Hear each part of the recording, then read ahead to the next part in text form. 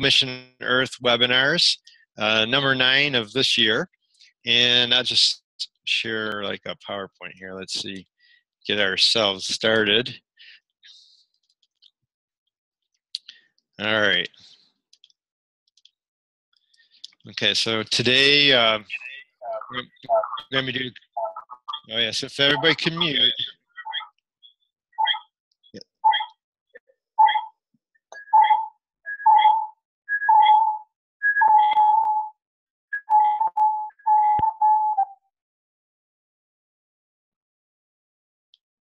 Okay, so uh, our webinar today is about climate communications, and it's by uh, Susan Joy Hassol. I don't know if I said your name right, Susan, but um, let's see. Oh. Just want to say that you know this is our project Globe Mission Earth. It's a partnership between University of Toledo, Boston University, WestEd, and UC Berkeley, uh, Tennessee State, and NASA Langley and of course the GLOBE program. So we're bringing together the GLOBE with NASA assets that's funded by NASA and getting kids to do projects, uh, engaging the public and, and K to 16, all those great things. Uh, and I'll talk about that, the student follow-up in a little bit. So we'll turn it over to Susan. Actually, you're going to turn over to me real quick here, Kevin. Oh, that's right, Tracy's. That's all right. See, no problem. We already no we, we talked about that. We did just a few hours ago, Kevin. it's all good. It's all good. Um, well, thanks for for being here, everyone. Uh, this is uh, Tracy Ostrom from uh, the Globe Partnership out west and uh, you're gonna hear some some really great ideas about uh, climate communications and communication strategies in general from Susan um, in just a minute. But I wanted to give a little bit of background. Uh, Susan is on the East Coast, I believe, North Carolina, and I'm here in in California. And you're probably going, "How in the heck did uh, did these two guys meet?" And uh, Susan and I met at the most recent um, AGU conference in December of last year, and I found out she I was presenting I was doing a poster presentation, and um, Susan stopped by because she saw the globe symbol on my poster, and we had a great conversation. Uh, Susan has some history with globe um, and its early inception, and uh, I just am um, very grateful to, uh, as we were talking, I was very, uh, really interested in her work in the communication mode um, and her organization, which she has here uh, as she's sharing her screen, climatecommunication.org. So I'm going to actually turn it over to Susan uh, now and say thank you very much for for uh, being our speaker tonight, and uh, really super interested in hearing uh, all the all the good things that you're doing and and some ways in which we can help our teachers and our students uh, in this area of communicating our thoughts and ideas on uh, climate. So thank you so Great. much for being here, Susan. My pleasure. Can you hear me okay now? Yep. Great. Thanks, Tracy. Thanks, Kevin. It's really great to be here with you all. As, as Tracy mentioned, I have a little bit of history with the very beginnings of the Globe program. It must have been about 20 years ago when things were just getting started, and I was involved with advising and help writing some of the initial protocols and uh, information for teachers. So it's really exciting for me to see how Globe has grown and developed, and I'm so glad that you all are, are doing this. So I want to talk to you, uh, maybe I should just say a couple of words about myself and my history because I've been working in climate change communication for about 30 years. And I started off trying to help scientists to just translate science into English and communicate more effectively. But what I found was uh, there was so much more to it than just teaching them not to use jargon. It was how to be a better storyteller and all kinds of other things. And also to learn something about the psychology of people and the public and students and all kinds of things. So um, I've testified before Congress, I've written an HBO documentary, I've done all kinds of uh, reports, uh, was the writer on all three of the national climate assessments that have been written and the Arctic Climate Impact Assessment. So I've done a, a whole range of things. And um, what I want to talk to you about tonight is telling the climate change story. And the first thing that I think is really important to say is that this is not just a story about the environment or saving the earth. So often we talk about climate change that way. It's about saving the planet. And when you ask Americans what's the first thing they think of when they think of climate change, they think of melting ice at the poles and polar bears. And of course, we all know that it's so much more than that. This is a story about people. It's about our economy and our health, our food, our water, our way of life. And I think it's so important to make that point because, you know, most Americans don't consider themselves environmentalists. And if we make this an environmental issue, then it's not their issue. So I think it's really important that we make that, you know, make that very clear that this is about everything. Now, I should say that personally, I think that there shouldn't be such a strong dichotomy in this this break between the environment and the economy and people because to me you know as gaylord nelson the, the co-founder of earth day said the economy is a wholly owned subsidiary of the environment so without a healthy strong environment you don't have a good economy. So to me they're not so separate. Yet for many people they are. And so i think it's very important that we don't just classify climate change as an environmental issue. So what I want to talk about, I'm going to give you a few of my tips for good communication, and particularly about climate change, but about communication in general. My colleague Ed Maibach likes to say that the secret of good communication is simple, clear messages repeated often by a variety of trusted sources. And I think that's good advice. So I wanted to start with that. Another thing I wanted to, to make clear is that we sometimes do a core dump about everything we know, and that doesn't work very well. That in many cases, the more you say, the less people hear. And so I'm reminded sometimes of, you know, I'll be in a hotel room and I'll want to turn on the television and just watch a little news. And I pick up the remote and it looks like this. Don't be like this don't give people so much information that they can't figure out what's important. They can't figure out the one thing they really need and want to know. So this is just a reminder for you of what not to do.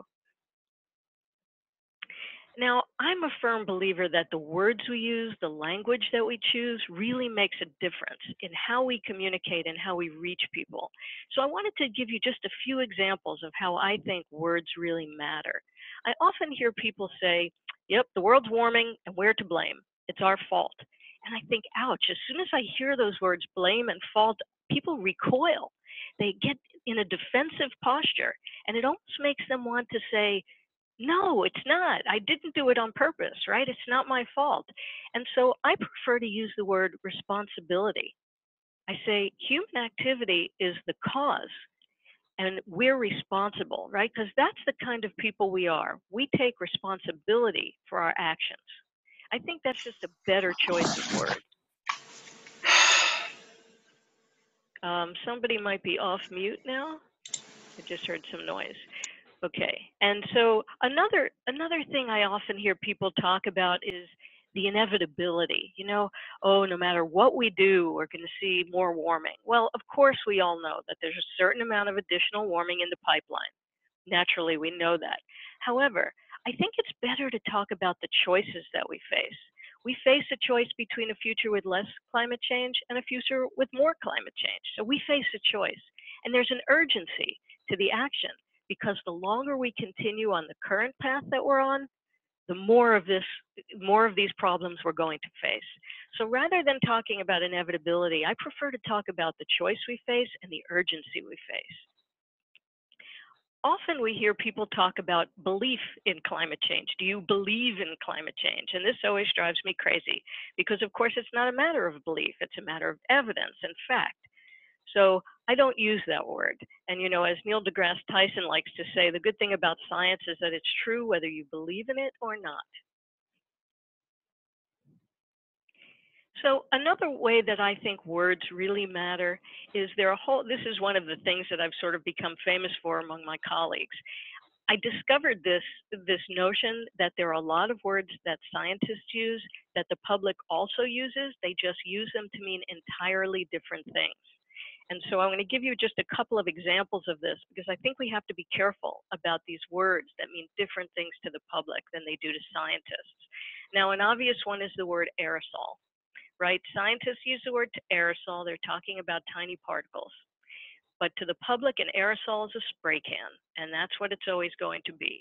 So in this picture you can see on your screen, that's Rush Limbaugh. He is doing his part for global warming by spraying aerosols on the globe because he heard scientists say aerosols cool the climate. So of course, what the scientists were talking about were the sulfate aerosols, the sulfate particles. So just a reminder that there are all these words that have these different meanings. Another one, of course, in, in climate change is positive feedback. To the public, that's going to be a good thing, right? They do a good job, they get positive feedback. But of course, what scientists are referring to is a vicious cycle in the climate system whereby warming causes even more warming and it self reinforces. So I try and say just use the term vicious cycle. That will be helpful. Now, of course, with your students, you're going to explain what feedbacks are, but we just have this problem with the word positive always meaning good and negative meaning bad, right? So a positive trend in temperature sounds like a good thing, right? But it's not, it's an upward trend. So in an article that I published with my colleague Richard Somerville in Physics Today, we put a whole bunch of these terms, and you can download this article at my website, climatecommunication.org. So you don't need to try and read all this or write it down. Just go to climatecommunication.org, and under resources and articles, you can find this Physics Today piece. that has this table, has some scientific terms with their public meaning and better choices. Now, you may notice that one of the words on this is theory right? So scientists, of course, use the term theory to mean something that's very well established in science and can be used to make predictions, like the theory of gravity. But to the public, a theory is just a hunch or a guess. It's just some theory. So when people talk, the public talks sometimes about global warming, they'll say, oh, well, that's just a theory. And when I hear that, I always want to say, you know, gravity, that's just a theory too. I did a TEDx talk, by the way. I used this and some other kind of amusing tidbits in that in that TEDx talk, which you can also find at my website, climatecommunication.org. If you want a little little more of history uh, of what I've been doing and a little more entertainment, you can check that out. So I wanted to talk a little bit about metaphors because metaphors are such a powerful way to help us communicate about climate or about anything. So I like to say that the heat trapping gases, the greenhouse gases, are like steroids in the climate system. And so, just like a ball player, before he started taking steroids, he still hit home runs. But after he started using the steroids, he hit more home runs and he hit them farther. So, sure, we've always had extreme weather events. We've always had heat waves. We've always had strong hurricanes, right? We've had heavy downpours. But now we're having more of those things and they're stronger. The heat waves are hotter, they come more frequently, they last longer. The rain comes in heavier downpours because we've put the climate system on steroids. I think when people hear that, it helps them to understand that what we're talking about is a change in the statistics, right? That's how it works with the steroids for the ball players or the bike racers. And that's how it works in the climate system. We're changing the statistics of weather. And so I think that's a powerful metaphor. Another one is the notion of fingerprints right? People sometimes ask, how do we know this warming is due to human activity? How do we know it's not just natural? And it's because the warming we're seeing has the fingerprints of human activity. And one of the examples I often give is the vertical pattern of temperature change through the layers of the atmosphere, right? If, for example, the warming were happening because the sun were getting hotter. First of all, of course, we know it's not because we measured that, and there's not an, more solar energy reaching the top of Earth's atmosphere. But another way we know is the pattern, vertical pattern of temperature change in layers of the atmosphere. If it were the sun getting hotter, we'd see warming at the surface, in the troposphere, and in the stratosphere. But what we see is warming at the surface, warming in the troposphere, and cooling in the stratosphere. So that's a fingerprint, a human fingerprint. And so I, I find this to be a helpful metaphor when we're talking about climate change. So I mentioned this idea that people say, how do we know the warming's not natural? Climate has always changed in the past. So what I say is, you know, just because lightning strikes have long caused forest fires does not mean that fires can't also be caused by a careless camper. And when they hear that analogy, it helps them wrap their minds around the notion that sure, just because something has happened naturally in the past doesn't mean that's the reason it's happening now. And we have all this evidence that the warming we're seeing now is due to human activity. That's where we come back to the fingerprints. So some other metaphors that I find very powerful around climate change are medical metaphors. So fever is important in, in determining your state of health, but it's not the whole story. So, you know, at your checkup, you don't confine yourself to talking about body temperature when you're discussing your health. Also, we know that in, in our health, prevention is better than cure. And the same with climate change. The more we can prevent, the less we'll have to deal with later. And also, if your doctor were to say to you, you need to eat better and get more exercise, or you're headed for a heart attack, you would not insist that she tell you exactly when you were going to have that heart attack and exactly how bad it was going to be. No, you'd take her advice and you'd clean up your act. So, this is what we have to think about with regard to climate change. We have the general picture, we don't have every single detail. And we don't expect that in any other aspect of, of our lives. So, why should we expect that from climate science? You know, and also with some other health matters like quitting smoking, the challenge comes now and the payoff comes later. But it's, you know, I find that this is a whole set of medical metaphors that can be very useful. My colleague Richard Somerville wrote a very nice piece in Climatic Change where he elaborated on many of these medical metaphors, and you can download that at my website as well, climatecommunication.org. So I want to say a few more words about storytelling. Um, these are few few of my favorite books on the subject of storytelling. So from the, from the left to right, we'll start with the most general and then go to the most specific. So this book, Made to Stick by Chip and Dan Heath, is a wonderful book that includes a lot of great tips about how to create good stories. And it's for any subject. The one in the middle, Houston, We Have a Narrative, is by Randy Olson. He's a scientist who became a filmmaker. And this one is about why science needs story. And he lays out his um, his ideas, his theories, as it were, of what makes for good storytelling. And then finally is a wonderful recent book by my colleague Per Espen Stoknes called What We Think About When We Try Not to Think About Global Warming. And he talks a lot about the storytelling that he thinks we should be doing that's a better set of stories. It's less about catastrophe and more about the positive future that we can all build together. And I'm a firm believer in that. So, one of the tips that I like to tell you for storytelling is the power of three. Three things, right? People can remember three things. There's a pattern recognition, and here are a few examples, right? Stop, drop, and roll, guns, germs, and steel. Here are a bunch more if you don't believe me. Blood, sweat, and tears, faith, hope, and charity, right? Things that come in threes are very helpful in terms of framing our stories and our narratives. So, as an example, I'm going to try and quickly tell you the story of climate change in three words simple, serious, and solvable. And I'm going to give thanks here to Scott Denning. He's a climate scientist at Colorado State. And he came up with these three words, this framing. Now, I'm not going to tell the story the same way he does, and I'm not going to use his slides. But if you want them, you can find his slides online just Google Scott Denning climate change, simple, serious, and solvable, and you will, can get his whole slide set. But I'm going to try just a quick run through of why I say climate change is simple, serious, and solvable. So let's start with simple, right? Heat trapping gases, not surprisingly, they trap heat. So carbon dioxide, methane, nitrous oxide, these exist in our atmosphere. They trap heat. That makes it hotter we've increased the quantity, the concentration of these gases in our atmosphere, and that has warmed up the Earth. That's really simple science, and that's the basis of this whole problem. And we have known about this since the 1800s. So, as Scott Denning likes to say, this isn't rocket science, it's steam engine science. So, you all know the history. And if you like to infuse your science lessons with some of the history of science, as you know, it's a fascinating story. You know, beginning with Fourier hypothesizing that there were these heat trapping gases in our atmosphere, and then going to Tyndall in the 1850s, building a machine that could actually tell how much each of these gases trapped. and then going to Arrhenius because at that time we were already burning coal.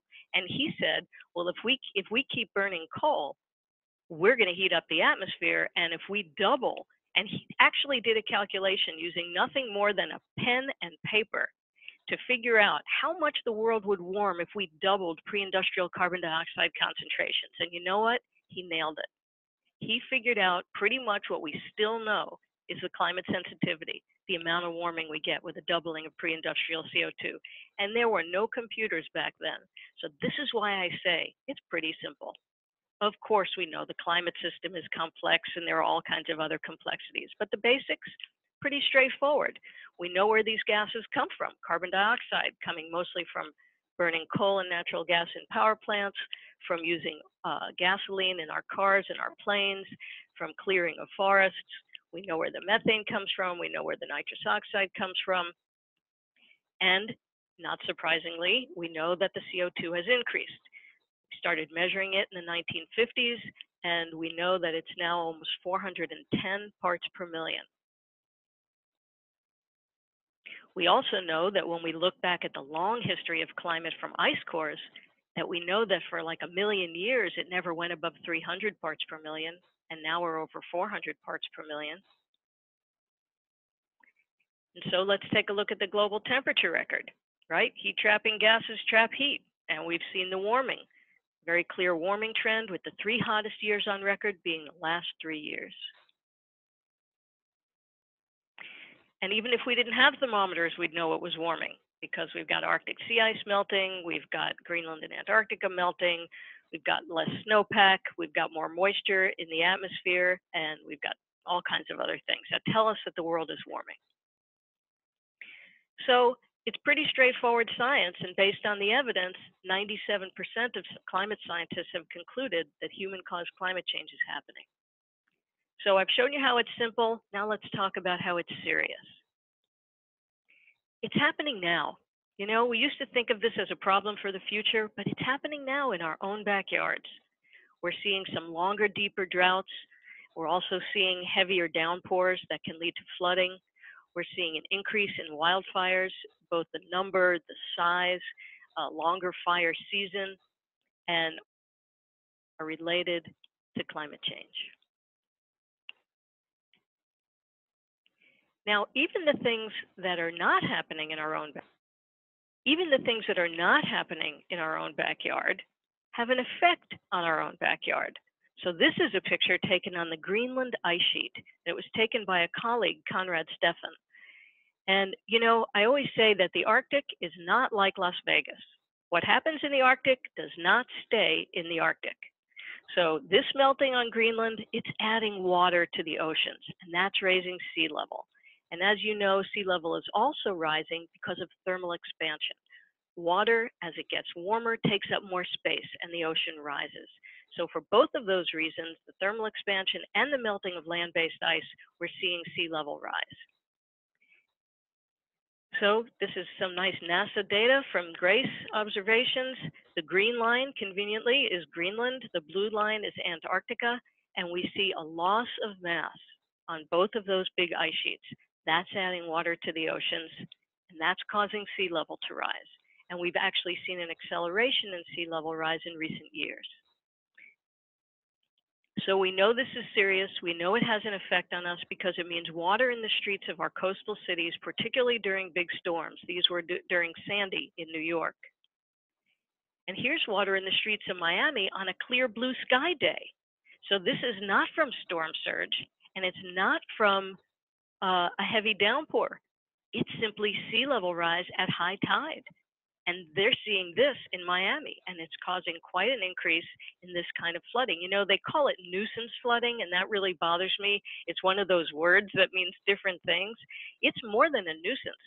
When it's water in the street and it's hurting business and the economy, and they're spending over $300 million on pumps to get that water out of the streets, that's more than a nuisance.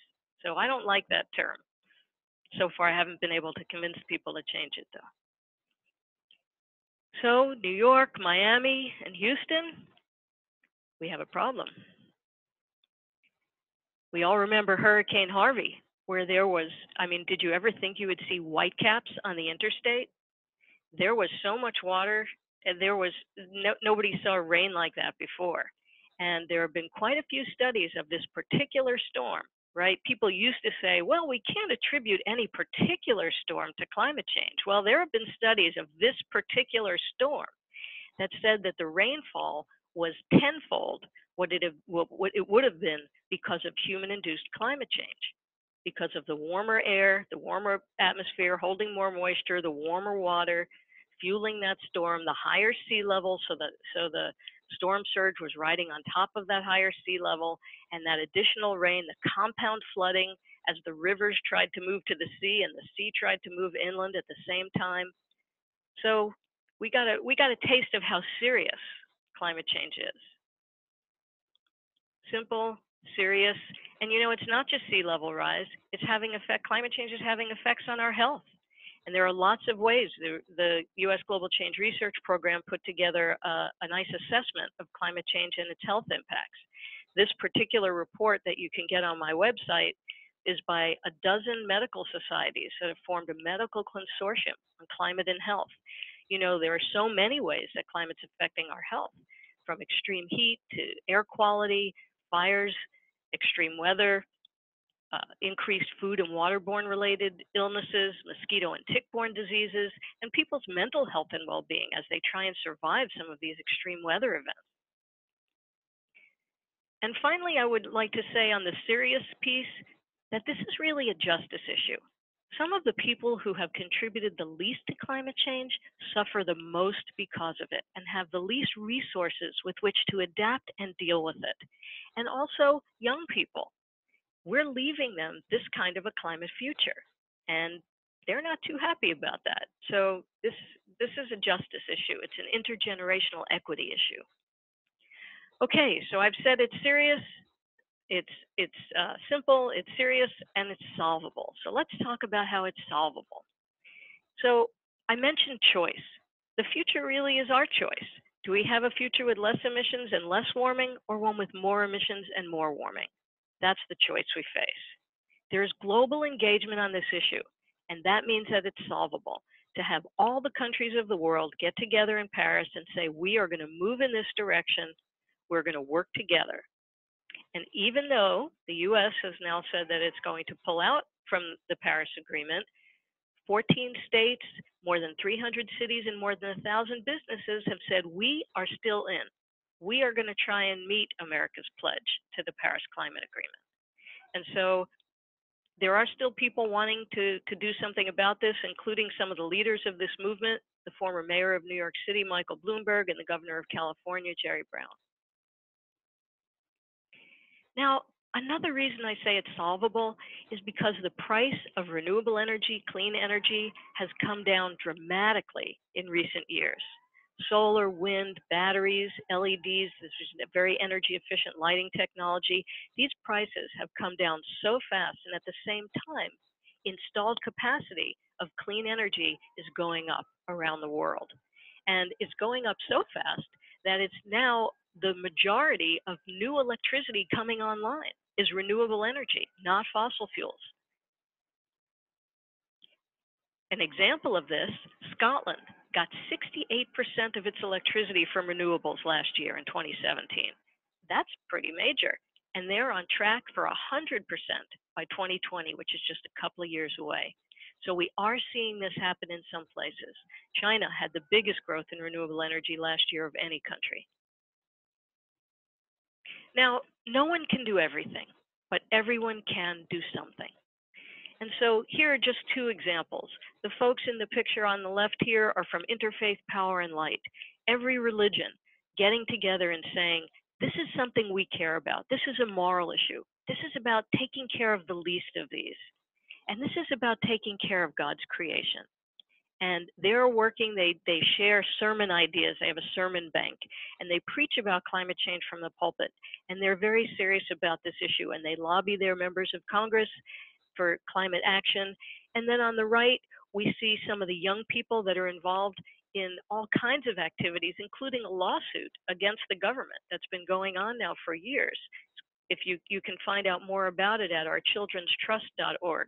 And the young man you see with the microphone is one of the people bringing that suit, saying, We have a right, it's our constitutional right to have a decent climate in our future. So these are some of the things people can do, but everyone can do something. At minimum, we can talk about it more. There's tremendous silence around climate change. People don't talk about it enough.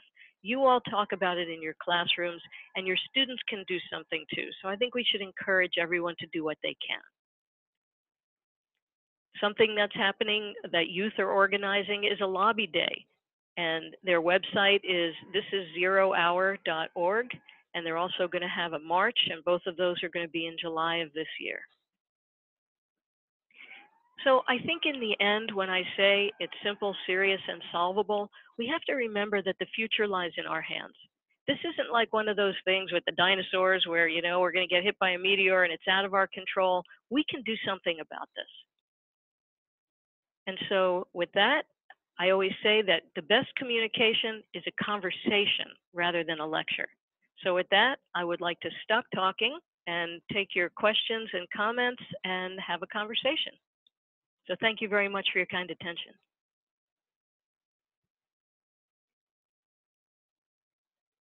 Thanks, Susan. That was great. Sure. Um, let's see. Stop sharing my screen. And I can turn on my video if we want, if you want to be able to see me. Oh, there you are. Here I am. There, there you are. All right. So, comments, questions, thoughts? So, as a, uh, I'll I'll start the conversation here a little bit. This Tracy and um, what what I struggle with as a teacher a little bit is how much we guide our students through this conversation about climate without um, feeling like you're you're pontificating to them you know it's like oh this is happening this is happening. And i think um, one thing that as teachers we struggle with is not to provide the doom and gloom perspective of what's going on. And and i was wondering if you could share that a little bit for for us as you know as educators you know how do we play that balance of action? And and i i really like the three s's. I i wish i i used that in my classroom when i when i taught because i i feel like i was a little bit more of a doom and gloom just to say hey we all got to take action. Uh, and it starts with you guys my students. Yeah. Um, so you're right. I think it's particular. I think it's important for everyone to have hope, but I think it's especially important for kids to have hope and not to leave them feeling in despair about their future, because I think that can just cause people to not want to do anything if if they feel like there's no hope. And this is why I say, you know, we really should never use that inevitability frame, right? This should be about our choice. I also think that it feels less like pontificating if if you speak, and I don't want to say nonchalantly because it's a very serious problem, but sort of calmly, this is what's happening, this is why, we know what's causing it, and there's something we can do about it. Right? So it's not hair on fire, you know, kind of going crazy about it. It's saying, this is what's happening and there's a lot we can do. And here, and in fact, to talk about some of the things that are happening already, I think is very helpful, which is why I frequently talk about, why I showed you the picture about Scotland, and talk about the price of clean energy coming down and how much renewable energy is being installed. People we know from psychology do better when they feel like we're already on our way than if they feel like we're starting from scratch. So when people say things like, oh, we have to remake the entire world's energy system. You know, it makes it feel too big, too impossible.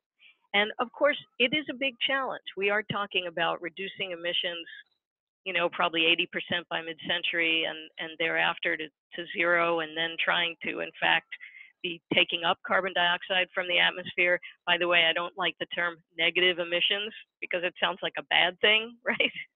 but, you know, of course, we know what it means. I gave a, a talk to the IPCC scientists that are working on that 1.5C special report, and I, I put up the negative emissions and I said, try not to use that term. It's really not helpful. So they heard me, they laughed, and they, they got it. But it'll still be there in the report, don't worry. Um, anyway, so I think you raised such an important point, and I do think it's very important to provide students with hope. To also, though, I mean, we don't want to be Pollyanna about this. This is a very serious, you know, and there are some very serious impacts that we're seeing even now. And yet, I think the hope thing is really important, and so I would just stress that. Other other thoughts? And yeah, I think the simple, serious, solvable framework is really nice. I sometimes use a different framework, which is, you know, what some of us call the big five. It's real, it's us, it's urgent, experts agree, and there's hope. And, you know, I sort of walk through those five things that people need to understand. Um, but somehow, like I said, the power of three, it's, it's strong. Thank you, Susan. I really like your presentation and I took a few pictures without waiting for your slides uh, because I really would like to bring them almost like in few hours to the classroom. so ah. thank you. And I like your style of presenting and it's just very passionate and um, and I can't wait to see your TED talk and, and so and really grateful. Um, my two sons, um, I'm an engineer. Um, in my previous career, career I'm retired as an engineer, but um, I always talk about um, um, engineering approach, basically, um, and it helps me to really say, okay, in any problems, we have to define, uh, uh, we have to start from defining the problem. You know, that, and it's just really important to really uh, find different solutions, but it starts from defining the problem. So it's not like we're painting a very dark picture. It's just uh, in any area, whatever problems we're dealing with, we have to define it because we need to know uh, what it is that uh, we need to solve. And that really, this, this sort of a practical approach from engineering perspective sometimes helps me, but what do I know? I'm an engineer. so, so it's basically, but for for someone who dealt with data and engineering all whole life sometimes i don't want to look into that data because sometimes it's it's it's very much concerning um, but i'm sure we will develop some some solution. Yeah there is no other way to say it. And again kudos to you susan. I really like your presentation. Thank you very much Sure, thank you. And I think that's good advice. You know, they say even like in these 12 step programs, the first step is admitting you have a problem, right? You have to admit that you have a problem, you have to define the problem, and then you can find your solutions. So I think that's the situation we find ourselves in. And if we look at it that way, it's it's practical, it's straightforward, and you know, we have to have a can-do attitude about it. So There's Susan, like, oh, yeah, sorry. Oh, I was going to say, uh, uh, Janet Vale posted a, a, question in the chat box. How did you get interested in climate change initially?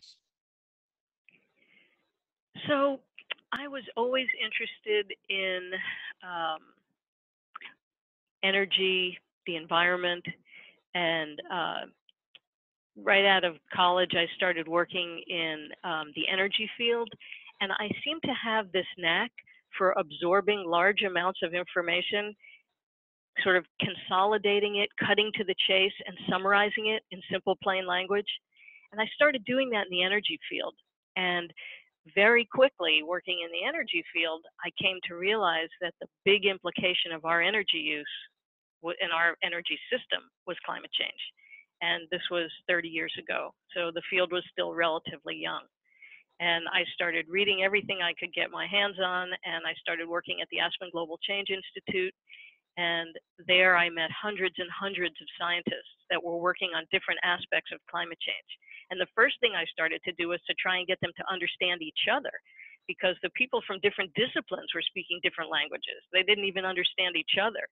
So I started helping them with that. And then I started helping them explain themselves more clearly to policymakers and to the public.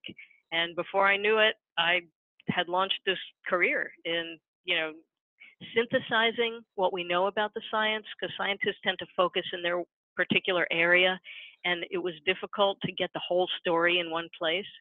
So I was working with the oceanographers and the atmospheric chemists and and then of course the demographers and the you know the economists and i was bringing it all together and talking about it in language that anybody could understand and then i was training scientists and how they could communicate more effectively and that's that's sort of my story and it's been fascinating but it just became clear to me that this was going to be the most important issue of our time and you know as the singer paul simon says I just want to say the most important thing there is to say in the most effective way there is to say it.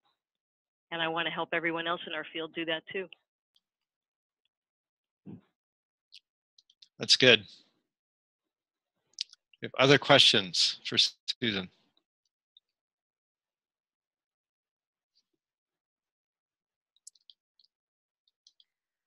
Just a quick comment, if nobody um, asking any questions. I, I sorry, I already said a few words, but uh, here's again. I really would like to encourage you, Susan, to use your talent and expertise to talk to our legislators because they, I think, sometimes need need to really hear that.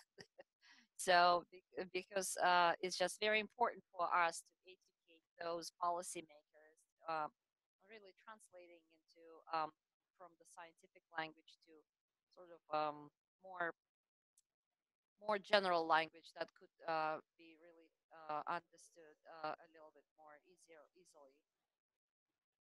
Thank you. Yeah, J Jackie posted a question. Um, so I'm not I'm not sure what she was meaning. What do you see as the biggest unnoticed air issue? I'm not sure what that means, Jackie. Can I jump in, Kevin? Sure, go ahead. Yeah, I I think Tracy hit it best when um, she started that conversation. I'm kind of in the same boat, you know, avoiding doom and gloom when you talk about this, and just trying to find a positive way to discuss this this big issue. You know, um, one of the things, and I, am just throwing an idea out there. The the Gibraltar School District where I work at work at, we have um, an energy czar.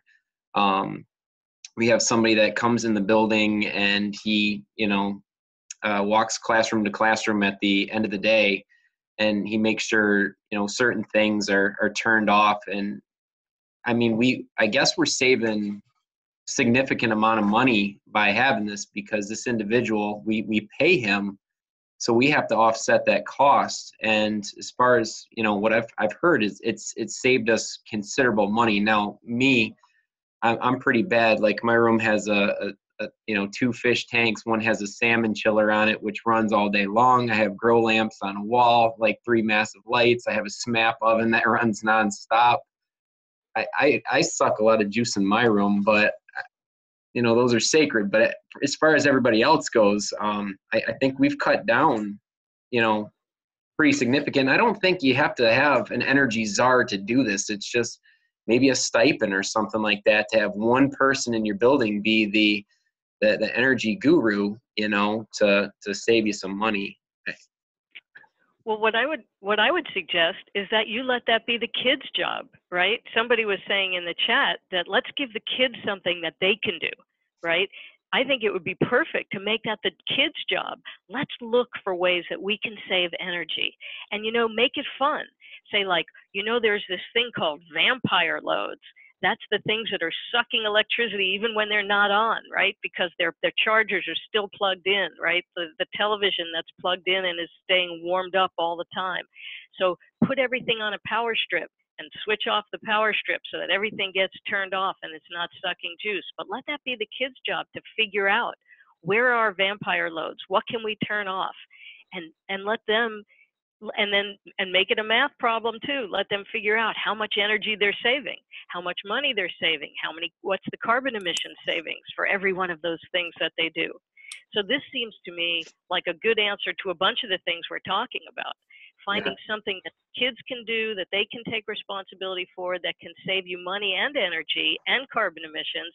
And this is one of the things that i think is so helpful when you're talking about climate solutions is to say you know what we would do these things even if it weren't for climate change because they save us money and they make our air cleaner. And there's good reasons to do these things even if there weren't a climate problem.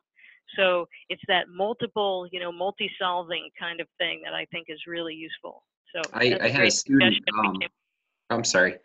I, I, I had a student a few years ago that actually suggested. He said, "You know, Mr. Bauman, we have to keep the salmon tank at 48 degrees. Um, why don't we just turn down, you know, the heat in the classroom and we just start wearing hoodies to school and and you know we can we can." And I was like, "Bingo, man! That's that's awesome." So yeah, just like Dr. Kevin's doing right there.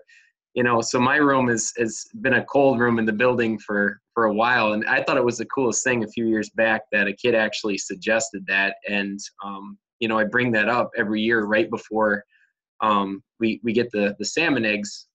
And, and my thing is, do you want to hear the chiller run all day long and that constant hum, or do you want to keep this tank nice and, and cold and, and the chiller shuts off? I, I don't have anything else. I was just, you know, sharing some ideas. Thank you for your presentation tonight. It was really good. So thank you. Thank you. I know, uh, like, uh, you know, everybody's house is, as well. You can, of course, um, uh, reduce electric use or energy use. And I know for our house, we got a geothermal system a few years ago, and then, uh, you know, the LED light bulbs and you know, we don't keep it the hottest in the winter. Wear our hoodies, and uh, you know, but it, it helps because I don't want to pay the bill. so, you know, appealing to people's economic interests is, is sometimes helpful. Um, I was wondering or thinking about as you're talking, Susan. Uh, you know, the auto industry in the '80s.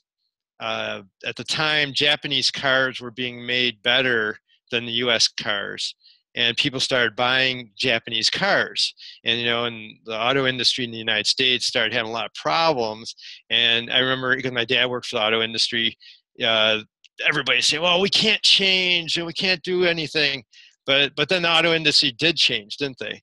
And they, they're much. Um, well, the cars are much better made now. Of course, you know they're burning fossil fuels, but um, they're you know people buy american cars american made uh, as much now as uh, japanese and other cars so that's one thing I, I was wondering about like appealing to people's economic senses that you know if if other countries are beating us in the renewable energy race we're falling behind in the technology and we're not being a leader and we've, we've been a leader for a long time I always say that. I always say this is about uh, competition and innovation and ingenuity and you know American exceptionalism. You want to be great. You want to be a leader. So yeah, if you listen to my TED talk, you'll hear me talk about all of that and about competing in the clean energy race. So I think you're exactly right. And since we were talking a little bit, I see that somebody has their uh, students do classroom energy audit, which is wonderful. Um, I was going to suggest that there's a group in Kansas. It's run by a woman named Nancy Jackson, and um, it's called the Climate and Energy Project. And one of the things that they do is the schools compete with each other to see which one can save more energy, and the one that the, the school that saves the most energy gets a prize. So you can do stuff like that. You can have classes competing against each other, schools competing against each other. And you know, once students start doing it at school, maybe they'll go home, and one of their assignments can be to do an energy audit in their home and to look for ways to save energy at home. And as we all know, you know, it was kids who taught their parents how to recycle than you know a couple of generations ago. So kids can can be teaching their parents about these kinds of things. So I think you're exactly right about the economic motivation. I think it's also uh, healthy competition will be great for the students as a way of learning. And you know, we even know there's some psychology behind this, and there's a, a company called Opower, we know that if you tell people on their electricity bill how they're doing compared to their neighbors, that that actually helps people. That's like this healthy keeping up with the Joneses, right? You know, wanting to, you know, how does it, are you saving more energy than your efficient neighbors and that kind of thing. So I think those are all all great ideas. So I think we're probably at the end of the time that we allotted for this, but uh, I'll let you decide when we're done and, and wrap us up. Well, I guess it's it's a good time to uh, wrap up. She's going to watch your TED talk. Uh, and DTE does also, uh, yeah, you, you could do um, audits. It's a good, nice thing. Okay, so let me just share my screen again. Um, now, we, we had planned a student follow-up on Friday. Does that sound right, Susan? Mm, Not with me. Oh, yeah, okay. I, now- I'm gonna I'm gonna take the reins on that, Kevin. okay, so oh, okay. So Tracy, you're doing it. Right. Okay, cool. All right, so um, you know, teachers who want their kids to call in at one o'clock Eastern Daylight Time, there's the uh, tiny URL uh, for the webinar. And if you could post in the chat box if you're thinking of having your kids uh, call in um, during that, uh, that would be very helpful to us to get a, a sense of how many people might call in. Uh, our next, also I mentioned our next webinar uh, will be May 1st, 8 o'clock. Boston University, Peter is on the line right now. They're going to be talking about their, um, oh, I can't read it because my eyes are too bad. Uh, going green, Globe Going Green, it's their uh, phenological garden uh, at, that they have at schools and talking about how that's going. Of course, uh, maybe with the cold weather, it's not doing a whole lot, but uh, we can hear, hear about their phenological gardens. And then uh, just to follow up on, we have our satellites conference at the University of Toledo. Uh, tomorrow is the registration deadline. There's a Survey Monkey link. Uh, you've got those of you who are around, you probably have uh, gotten these links. Uh, and then uh, just to remind you, we have uh, the deadlines approaching for the symposia. Let's see, Midwest, the deadline's April 18th, Pacific, April 18th, uh, May 1st for the Northwest. All right. And then, uh, well, let's see, this is shameless plugging. We have our, uh, at the University of Toledo, uh, career technical education teachers can come learn about uh, geospatial technologies using kites and drones to image the Earth and then linking that to globe observations. And then here's our credits. You could uh, follow us on, uh, well, we have a website on the Globe website, Web Mission Earth, and then Facebook, Globe Mission Earth. You just type in the search, as well as for YouTube, Globe Mission Earth, because that, that's what it comes up. And all the webinars are archived on the YouTube channel. All right. So I'll stop sharing. I appreciate everybody calling in today. Uh, um, see, we have some people maybe, and Janet saying, please register. All right, everybody. Thanks for calling in. Susan, thanks for a great job. Yeah. thank Tracy, you so thanks much, for Susan. organizing it. Thank My you all. pleasure. Thank you, Tracy. Thank you, Kevin. Thank you, Susan. Thank You're you welcome. all. Mm-hmm. Night. Bye bye. Good night. Everybody. Good night.